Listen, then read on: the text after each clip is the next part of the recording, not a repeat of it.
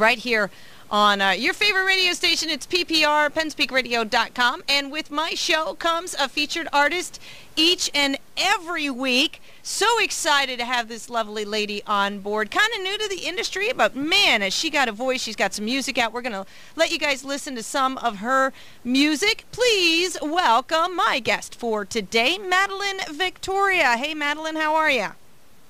Hi, I'm doing good. Hey, everyone. Yay! Glad to have you on board the show today. you're calling. Thank you. Now you're calling from a little bit, a little bit from here. I, it would take you a little bit to get to where you are. I, even though it's only an hour difference, we were chatting off air. Yeah. But if I got in my car, I'm not so sure I'd see you by dinner time. no, no, no, not at all. yeah, you're. Yeah. Uh, where are you in Texas? She's hailing from Texas. Where exactly are you? That's a pretty big state.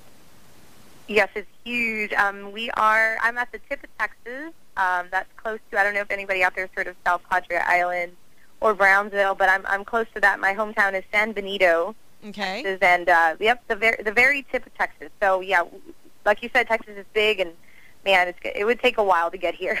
Yeah. I used to drive down to the Big Bend area, and I think it used to take me like three days. I mean, I'd hit you'd hit Texas, and you're like, "Yay!" and then you're like, "Crap! I still got a whole nother day of driving." it's like yes, it's huge. it's like, man, why is it so big? then you throw in some mountains in between, which makes it even harder to like drive across the state. So, so anyway. Oh, yeah. Well, you uh, are such a sweetheart. Thank you so much for joining my show today, Madelyn. Um, but, uh, you know, we're going to talk about your music. We're going to play a couple of songs. Uh, you have an EP out. We're going to talk about that and find out a little bit more about what's going on with your current uh, place in the country music industry. But let's just back up for just a quick moment. People are already aware that you hail from Texas, but give us a little background about uh, how you ended up in the country music industry doing what you're doing today. Uh, you know, just like a really quick scenario of where how you got here, Madelyn. Go ahead. Yes, of course. Um, it started off when I was about five, which I that's my first performance ever. I was, of course, so young, and my parents um, saw that I loved doing what I was doing, you know, singing. So they continued to support me and to help me um, at, at a young age, and, and you know, my mom teaching me the national anthem at such a young age as well, and performing at different um, events here locally around my region, and and uh, just got getting bigger and bigger. And by the time I was um, 15 years old, my parents took me to this talent search that was going on here in South Texas from a group that came down from Dallas. And like you said, we were talking about Texas is huge. It's about 10 hours away from um, my town of Dallas. So uh, they drove a ways, and they were looking for talent down here. And at the time, they were called Barbizon School of uh, Modeling and Acting. But Mhm. now I believe they're uh, School of Talent, um, including singing now. But um, I did those classes. I went to Dallas, took some more. Um, I competed in a, a competition in New, New York um, for some agencies, and it's um, it was a huge competition at the Waldorf Astoria, and I um, got some awards there for acting, third runner-up for soap opera, and some uh, TV commercial as well, and um, also I won the singing competition. So a lot of a lot of agencies wanted to sign me. Um, I was very young, at 16, but that wasn't really part of our plan or my, my plan yet. Um, that was, you know, really good experience for me, and um, I had to, you know, I came back home to Texas and I I did some um, other auditioning, and I, I got a uh, uh, I got in this group called Radio Disney, and I did my first opening act there with um, the Jonas Brothers, and that Nice. was um, that was really awesome. Yeah, it was it was kind of like I wanted something that that really piqued my interest in saying I want to do this. Like you know, I want to be an opening act, and eventually I want to be up on the stage. And and you know, growing up though, um, ever since a young age, I've always listened to country music. Country music was my number one go-to genre. My dad, uh, biggest influence um, for me. My dad would listen to George Strait a lot, Alan ja- Alan Jackson, a lot of '90s country, which um, kind of you can kind of hear in my music. Um, so I uh, that was always on the you know something that I would sing. I sing country up in, in New York City. I, I was uh, involved in FFA, and one day you know I will hope to have a ranch, and I always am out fishing and hunting, and so you know that's always just been a lifestyle that I love, and country music's always impacted me in the stories and the and the true sound of country music. Like you know I love a fiddle, I love a steel guitar, something that I'll never ever leave out in my music, no matter what. I always say that to everybody. So um, like I said, though, going back to opening up for Jonas Brothers, and then uh, just doing different competitions. And when it came down to like you know really deciding what I was going to do with my life at around 17, 18 years old here at, at the high school that I went to, they're very you know very good at helping us decide. Okay, you know college and you know what university and and everyone's making that life decision like you know the next steps. And I just thought hey this is my this is my next step. This is what I'm going to pursue. And I know it's going to be hard but just like anything else you know everything's hard. And and uh, I I got together my first band mm-hmm. uh, my senior year of high school. And you know I thought that this has to grow. And and from all the advice that I've um, learned from so many people um, anything that I've been involved in and, and whatever advice people have to give me I take it in and also um, with a lot of prayers and a lot of um, support from my family. It's just been nonstop from there and, and playing and booking myself everywhere. I book myself and uh, wow. seeing people like Mr. Michael Stover, you mm-hmm. know, helping me with my single and, and really trying to get out there and and uh, it's just it's just been awesome. Um, and, and I'm super excited about the more the more things to come right. with me in, in my career. Nice, nice, nice. And sounds like you've got the enthusiasm and, and the energy for it. Now, when you talk about your music, Madelyn, are you uh, are you writing your own music at this point? Is this EP something you wrote? Yes, definitely. Okay. Um, I've been songwriting since I was um, 13. Okay. And so n- nothing formal, like no, no, not even voice lessons I've ever had or any songwriting lessons or anything. I just read what I can and um, I, I get influenced by the songs I want to write like, you know, like I mentioned before, George Strait, all his hits, you know, the number ones don't lie, or he must be doing something right. So I uh, use his little formula, whatever I hear in there, in, mm-hmm. in, in his songs, and also Johnny Cash is a major songwriter influence in, in my music. But yeah, I, I mean, that all that whole EP is um, my are my songs, and I have so much more material that that I write every day. Mm-hmm. Um, I also I, I write with my brother. He's a, a really great songwriter and um, he's my guitar player. He's always with me on stage, and um, also just like kind of whenever I need advice or whenever I need something. He's my younger brother, but he's so smart and and just so so talented, and, and we're there for each other in in, in the industry. But um, I, just this past year too, we went to Nashville and started to get into the more songwriting scene there too, co-writing with other people. So I'm learning about that too. And uh, but for the most part, um, I write my own stuff and um, I'm just glad. I, I think everyone out there is enjoying it, so I'm, I'm excited. Yeah. Um, you know, and it, it sounds like you must be doing something right. Your persistence and your enthusiasm, um, you know, kind of sets a stage for a lot of things. I mean, you've already got quite a few performances, you know, under your belt. Uh, you've done some sporting events. You've been uh, at political rallies and ceremonies and rodeos. And I was reading something that kind of made me giggle a little bit you've you've actually walked away with a couple of crowns, including being a, a country cowgirl and a homecoming queen and um, some of these other things which I found interesting. Are, are, do you do the rodeo? Are you, are you? It says you you were the inaugural rodeo queen, so that doesn't mean you actually do the rodeo, or do you? No, I, I do not. Um, you know, I horseback ride every now and then, but I'm not involved in uh, in that. Pretty much um, here in, in South Texas, they they have a couple of small rodeos, and one of them is um, from a town just right next to mine. It's um, Los Fresnos, and they've been um, in association for about 20 years. And my senior year of high school, they uh, they decided to have a rodeo queen for the first time in 20 years. And since I was already a Cameron County cowgirl, um, and that you know that that has to do with the the FFA organization. They would put on these um, different pageants for for the girls involved and in the animals and in raising the, the the animals and the ho- mine I raised hogs in high school Mm-hmm. But um, they did, they did that just you know to add you know a little bit of uh, I don't know just fun and and getting to know these girls was really nice and really fun. And like you said I was uh, got rodeo queen. They crowned me rodeo queen and that was uh, just kind of like a representation. And since I sang too I would sing the national anthems at uh, the rodeos that they have there. So um, yeah that was it was really fun. And I think it kind of goes you know hand in hand with singing and performing. I mean you know the spotlight's on you and you have to make sure you know you're representing something um nice and you're on stage when you're competing so right. it kind of you know helps along with with all the experience well, and also in, in, your bio, and I, and I want to make sure I, I point this out, and then we'll we'll get back to your music a little bit. But I always like when I see that the artists that I talk to, you know, kind of give back to um, give back to the community communities that they're in and and it kind of like you know a little bit thank you you know because if without without those people who come to your show without those people who buy your music without those you know your fans and stuff like that you know no matter how big you are, you don't have your fans, you got nothing. And it's nice when you can turn around and give some things back. And I see that you're involved with things like events for special needs children and children's hospital and rehab centers. Um, how did that become the, um, the, the, the, the, thing you wanted to do to give back? How did that, I mean, there's so many different organizations out there. How did you end up picking, you know, children and children's needs and things like that?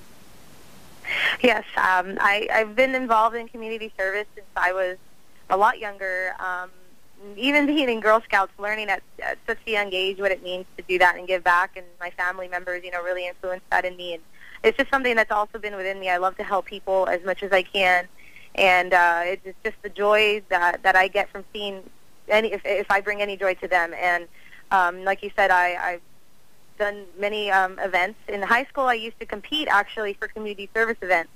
Um, we would go all the way. It's called Skills USA, and they had a uh, leadership portion of this. And so every year we'd come up with a different event and different anything that we could do. And um, child abuse awareness was mm-hmm. part of um, a really big played a really big part in in uh, my community service, and I continue that still to this day. Even when I have, um, I had a CD uh, release concert here locally at a at a baseball park, and um, you know, my half of what I made there, I would donate to a, a place called Maggie's House, and that's where actually the child abuse um, investigations go on. Mm-hmm. So um, I donated that to them, and I, I sing at the hospitals every year, especially during the holidays. Mm-hmm. I want to make sure that I'm I'm I'm trying. You know, if I bring if I could bring any joy to somebody and it might might as well be a child who can't spend you know Christmas at home and sure. um, they're there in the hospital. So and I, I do that. I also crochet blankets for them, Aww. and um, so yeah, I just I do I feel like my time is has to be worthwhile and um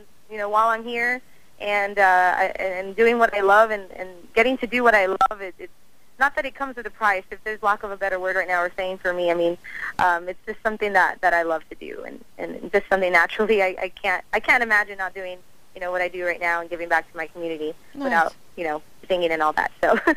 well, that's cool, and you know, um, I, I think that's interesting. And, and one of the things, too, is, is getting your music out there and in a roundabout way, you know, to be able to, you know, provide your fans with some great music. And, you know, you're writing, uh, you're doing your own writing and things like that. When you, when we talk about this EP, we're going to, we're going to uh, cover one more thing yet. And we're going to take a quick break and pack, come back with a song. Um, but that's what I want to hit on if you wrote all the songs in the EP, the one that you released, which is out there as your single right now, is "He Only Loves Me on the Dance Floor." Is that something from personal experience? Uh, you want to tell us a little bit about that song? That's your single right now. Yes, um, "He Only Loves Me on the Dance Floor." Um, probably about four years ago, I started writing this song, and um, I finished it up not not too like you know. Sometimes it could take like five minutes to finish a song, or sometimes years. But this one, it it, it took um, probably about a month or so, but um, it started off with um, just being influenced by going out here in South Texas dancing a lot and seeing what I see. I've been to so many dance halls here in Texas, and it's just something that made sense, you know, what mm-hmm. I see on the dance floor and, and the phrase and whatnot, and and uh, it just it just you know kind of all came together and. Um, it started. I did um, at the time have a uh, boyfriend who we would go dancing all the time, and you know, it ends up he did only love me on the dance floor in a sense. I guess we're not together. We're friends, but I mean, you know that that also helped me finish that song and influenced me um, in in writing that and finishing that. But it's also about you know maybe meeting someone new at the dance hall mm-hmm. and uh, that physical attraction that you get and oh no I shouldn't do this, but you know everyone knows after a few drinks it just you know somehow you end up doing it. you end up just dancing with them and it's like you know great and fun, but. Um, yeah, however anybody wants to take it, you know, in their own perspective of my song, um, that's fine by me. Like you said earlier, the fans, you know, I'd be nothing without without them and, and without them liking my music. So however they want to say it, a lot of girls tell me, you know, that's my song, and it's true. You know, it's everyone's song. So um, nice. I'm excited for more and more people to hear it, and I'm excited for um, everyone out there right now that's going to hear it. That is Madelyn Victoria right here for you on Wall to Wall Country, her single that was just released off of her self-titled five-song EP, a little tune called He Only Loves Me on the Dance Floor. Hey, girlfriend, been there, done that. yeah. Yeah, I could see how I could see how a lot of ladies, um, you know, can say, "Hey, I echo those sentiments totally," you know, and it really kind of like brings it home a little bit. And man, you got a voice, girl. You got a. I, I'm sitting here going, man. Sounds like Sara Evans or something like that. I mean, I would mistake that in a heartbeat. Good job. Oh, thank you. Excellent job. Uh, you know, and I, and I think that's important. You know that um, you kind of have your own style, but you've definitely got the qualities in your voice that's going to take you somewhere. And songs like that, I mean, you know, I think everybody can, you know, do those silly songs or those funny songs or the patriotic songs, you know, whatever. But some of the songs that can talk directly, directly to your audience, you know, every woman that that you play that for, I would bet, can go, "Yep, mm-hmm, been there, done that. I know exactly what that feels like." you know? Yes. Yes, definitely. That's what I get. I get that. Do you find that every time? do you find that at your shows the, the women are sitting there going, giving you the thumbs up in the audience, going, "Yeah, girlfriend, I feel ya. I feel ya." Are you getting that? Mhm. Yeah. Yes, that every all my shows definitely. Yeah. Do they know the words to it? yes, they do. Here, um, yep. The more the more shows I'm playing, you know, I, I start to see. Uh, e- even it's funny, you know, even the guys like they take it to them. They start to, they even know it. It's funny to me. Like they they love it too because they say, well, I've been through that too. She only loves me on the dance floor, so it's Yeah. something that uh that hits home for for a lot of people. But Wow. yeah, definitely the ladies. Um, a lot of my friends, a lot of fan, new fans and friends that I get, they're like, "Yeah, that's my song. That's that's exactly you know how I feel." And Nice. so yeah, Well, you know, and that's the thing, and and I think social media is one of those things that really help accomplish that. Uh, now you're on Facebook. We're friends now. Yay, we can chat, girly things off air. yes. Uh, uh, you've got the Twitter, uh, Twitter, and some of the other social medias going on. People can find you there too. Yes, they can find me Twitter, Instagram. Um, I'm working on a new website, but it's still up there and up and running. Uh, MadelynVictoriaMusic.com. Um, you know, I have all my show schedule and music and um, YouTube. I have my music video on there um, for the song "He Only Loves Me on the Dance Floor." People can check out and see. And uh, yeah, they find me anywhere on social media and the internet. Uh, yeah, and all they have to do is is probably search as for as search as much as Madelyn, but you'd get a little bit home or home closer to home if you do Madelyn Victoria. Uh, find her out there as a, a country artist, doing a fine job. Um, and your schedule, your show schedule, and stuff like that. It's also are you throwing stuff out there on the Facebook and the social medias about that? Yes, I'm always up on that. You know, like I said earlier, I, I book all my own shows and I do, you know, my own advertising on that as much as I can. So, Nice. yep, always always updating that. Awesome, awesome, awesome. And uh, we'll make sure that, uh, you know, uh, I put uh, the Penn's Peak Radio link on your Facebook page so you can uh, like us as well, and we'll throw some stuff out there. Um, but good stuff, you know, and I got to tell you, you, you were talking about uh, the music. I think what we want to do is sneak in one more tune here real quickly as well. Um, but one thing I want to touch on that is uh, a little something that I think is interesting. You've, y- you know, you're talking about your shows and how you're doing a lot of hometown stuff and you're booking your own shows and stuff. But man, you're also playing for some big guns out there with some bigger audiences. You know, we're talking, you know, Tracy Lawrence, Dustin Lynch, the ZBB band, uh, Charlie Daniels. That had to be a lot of fun. Uh, are you Yeah. finding that these people are opening their doors to you? Yes, it's um, you know, like you said, it that's it's always been kind of remarkable to me and kind of wow, like I kind of stunned I get sometimes that I, I like you said, I'm here locally in my region and um in South Texas and um, you know, I'm trying to get out there a little more in northern Texas and, and really soon we're gonna be working on, you know, different booking agencies and stuff. But for now and the experience that I have, I feel like I've been doing this, you know, for so long and all the shows that I've had, um, I feel like it's just as much as I would learn if I was on the road out there everywhere because, like you said, they're bigger audiences. Um, here in South Texas, there are just thousands and thousands, even up to a million people here.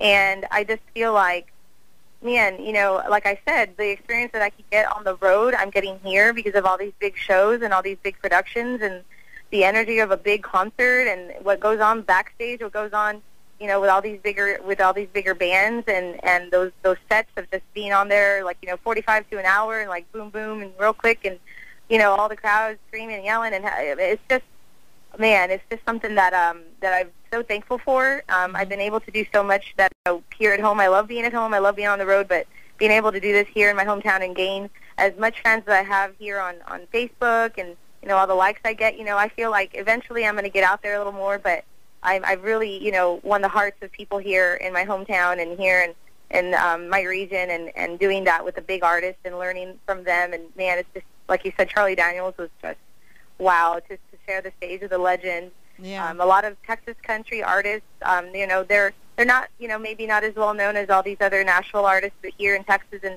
in Oklahoma and um, Arkansas, different places around here locally, you know, they're they're really big, and and to share the stage with them too, you know, they're doing this all on their own too, and they they bring a great crowd, and being a part of that crowd, and um, it's just it's just amazing. Learning experience is great, and I'm I'm just so thankful to to have that under my belt right now, and, and ready for more to come. Nice, nice, nice job. Well, uh, speaking of uh, speaking of doing some songs and some some music, we're going to take a quick bottom of the hour break, and we want to come back with one more tune that you're thinking uh, off the EP. You're not real sure which one you plan on setting out as a, another single, but one of them that you had mentioned to me was "Hold On," and I think we'll come back with that one. Um, what's "Hold On" all about, Madelyn? Hold On is another, you know, kind of love story that people can relate to. It's about, you know, maybe maybe it's a continuation of dance floor. Maybe it did work out where he doesn't only love her on the dance floor, but he really wants to hold on to her for the rest of her life. So um, that's basically finding the one and, you know, wanting to spend the rest of your life with them and, and uh, just kind of a sensual feeling as well. Mm-hmm. Um, getting close to somebody and, you know, the kissing, the touching, and um, just something that a lot, like I know a lot of people can relate to. So, and I hope um, everyone likes it. Once again, Madelyn Victoria, a tune off of her self-titled EP, where you can get your hands on it on most of the electronic ways out there. Catch her Facebook page and her Twitter page and her website. Uh, right there, uh, you can find out more information about her. And uh, hey, Madelyn, that was a good one too. I like it. I really do. Got some good stuff going on there. Are you there, Madelyn? Madelyn? Are you there? Uh-oh. Must have lost her. Uh, but uh, hopefully she'll call us back. But uh, Madelyn Victoria, good stuff. Uh, good stuff right there. And um, man, you can find her on her, her, website, her Facebook page, her Twitter page. And uh, we're going to be featuring another one of her songs at the end of the show for sure. Um, and that is uh, that is coming up in just a little bit. Let's see if uh, we got Madelyn back. Are you there, Madelyn? Yes, I'm so sorry. My signal um, faded, probably. That's okay. Glad to have you back. I was just telling uh, the folks that uh, you're going to have, uh, you've got uh, your music. Where, how can they get your hands on your music? They could go to um, iTunes or any uh, online retail store. Um, I sell my CDs at all my shows, and I'm working on um, getting my store up on my on online for my for my website, so they can get some hard copies if they'd like. But um, for now, you know, they got the iTunes and Amazon, and um, they could follow me on Spotify, my music on there, get my album from there, or you know, however, you know, I'm pretty much everywhere um, on every retail store, so they can get that. And uh, I'd really appreciate it if they like my music. So thank you guys. Okay, and that's uh, MadelynVictoriaMusic.com. Um, now you said something about your you're making a new website. Is it still going to be the same link, or are they going to have to look for yeah. something different? Oh, you're going to keep the same link. Yes, it'll be the same link. I'm just, I guess, I guess, I'm, what I meant to say, I'm just working on some, you know, new graphic designing and all. Oh, okay. So, but yeah, same link. Awesome, awesome. And I see you have a, a little video on there. Uh, apparently, you did that the one that song for um, on a on a video as well. Uh, but you can shop yeah. on her website. You can check out her shows. Um, and I can see that you know some of these pages are under construction, but you keep checking back with. Uh, with the website at MadelynVictoriaMusic.com. You've got quite the busy schedule there, girl. My goodness, there's you've got a lot going on over the next through all through uh, up until next April. You got a couple of great shows going on. Yes, uh, I'm super excited. I like I said, I you know I'm booking myself, and I you got to do that if I, I do what a booking agent would do, get those shows in early and. Uh, get the schedule down. So nice. I'm excited about that. And then in January, I don't have any shows because I'll be on the road with uh, my first radio tour. So oh, nice. Um, I'm excited about that one too. Great. Awesome. Well, you know, if you ever get up to Pennsylvania, uh, we'd love to have you in our studios and uh, include us in your radio tour. So just keep that in mind as well. Um, we have a nice little studio. You can play a couple of tunes for us. We'd love to have you. Oh, great. Yeah, definitely. Yeah. So uh, before we let you go, we're going to do one more song at the end of the show to remind everybody if they missed the interview um, to uh, check back on Sunday. This entire show gets recorded and gets played back on a Sunday morning, 8 a.m. Eastern. That would be 9 a.m. your time uh, with the interview in the second hour. So you can uh, throw that out on your Facebook page if people want to hear the interview. Uh, but we're going to close it out with another one of your tunes, and you were talking about doing Breaking My Heart again. Should we close out the show with that one, Madelyn? Yeah, that would be great. You know, that I'd, I'd love to hear that one for, or I'd love to for them to hear it. and and is that another heartbreak song? Something that you experienced? just uh, something you drew uh, energies from? Where did that one come from, dear? Yeah, I guess people can hear that in, in my songs, but yeah, pretty much, you know, um, kind of like when you see that person again after um, the heartbreak is done, and and you know, like you know, you're not you're not together anymore, but then you see them, and your heart just starts breaking as soon as you as soon as you see them, just you know, walk in a room or wherever you're at, and mm-hmm. like, oh no, I gotta go, you know, the, just your heart breaking all over again. But uh, nice. uh, that's that's pretty much what it's about. all right. Well, we'll be playing that one at the end of the show. Madelyn, Victoria, thank you so much for being on, on my show today. Uh, it's definitely. Yes, thank you. It's been a pleasure, and uh, please keep in touch. You got something new going on? Feel free to get in touch with me through either Michael or you can shoot me a message on Facebook. And uh, my guests are also always welcome back. So maybe you got something new and exciting going on in a couple months. Feel free to let me know, and we'll get you rescheduled on the show.